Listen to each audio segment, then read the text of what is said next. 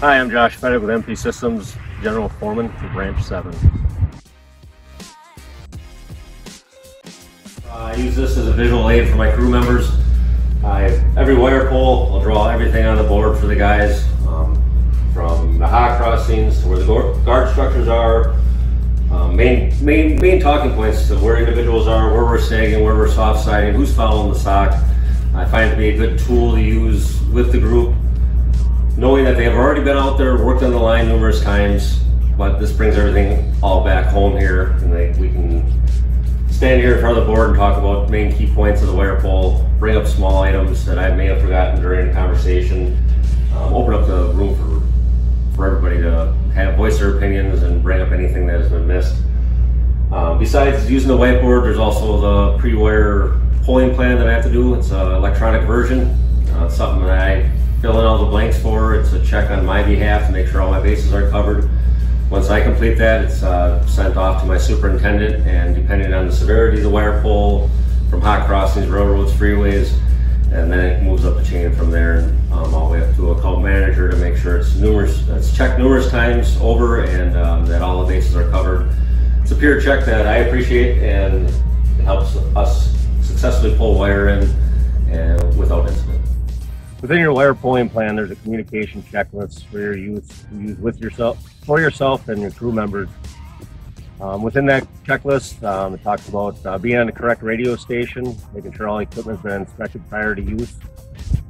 Um, everyone's on the same page, know their positions throughout the wire pull and their duties. Within that, it helps ensure that the wire pull goes successfully, everybody knows their duties throughout the day and understands their responsibilities. Rohan, do you got a copy?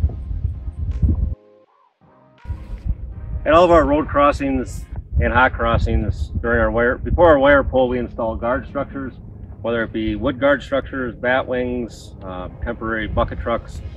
Uh, in order, the reason to do that is to protect the, protect the public and the roadway if there's a possibility if the wire would fail.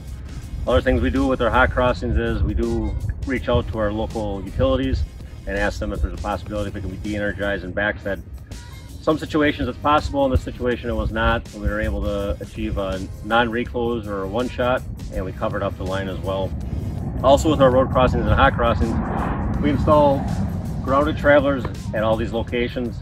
It's another protection for our workers and the public in case the wire would come to the ground, we would have a malfunction that the wire would be shorted out in the quickest fashion as possible. Here we have our wire pulling end, our V-groove end, uh, with all of our wire setups. We install engineered EPZ mats. Um, they're all bonded together with uh, bond so that they all put themselves at the same potential. If there would be, what we're trying to achieve here is if there's a malfunction, the wire would come down, become energized for whatever reason, or if there's high induction. That puts us at the same potential as the wire we're working on. Um, when we do set these up, we do have to take precaution. We install snow fence, double barricaded, one tight to it one away from it, three or four feet. That keeps us on the EPZ pad itself and it keeps the public away from the EPZ pad if someone would approach. When we do access on and off our EPZ pad, we use an isolation step. That way when you're stepping off the EPZ pad, there's that step potential between you and the EPZ setup itself.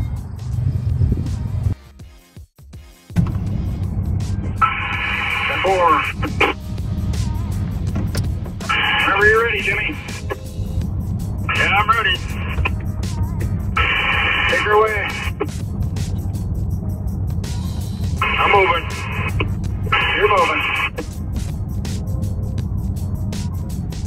Wire's moving. Wire's moving.